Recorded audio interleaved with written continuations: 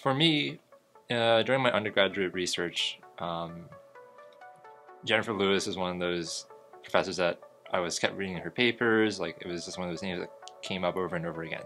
Um, and so, um, for me, uh, coming to Harvard was kind of a bit of a dream to work with one of the preeminent professionals in our in the field, right? One of the biggest names, um, and that's true across all of Harvard, right? All of you look at all the professors here, like they're at the top of their field.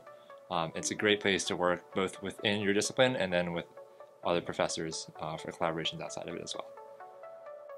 Um, like my background is in electrical engineering, but I'm working in a bioprinting lab where we're very much working with um, cells and tissues, things that are alive, a lot of chemistry, a lot of material science, biology, everything.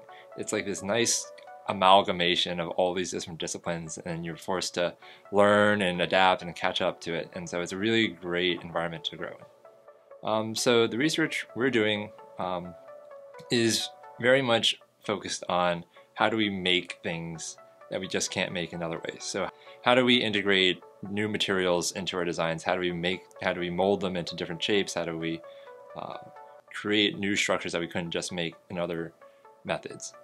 Um, and the same is true for cells and tissues, right? If you want to recapitulate, like, if you want to make these models for cells and tissues that may provide advances in drug screening, right? We have to go to more and more advanced levels other than just cells on a plate.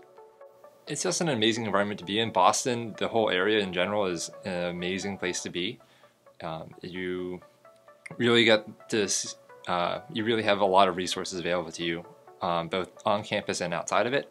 Um, and the community here is, while small, is very tight knit, and it's a great group of people. Um, ultimately, I right now I'm thinking I would like to enter academia and then become a professor myself.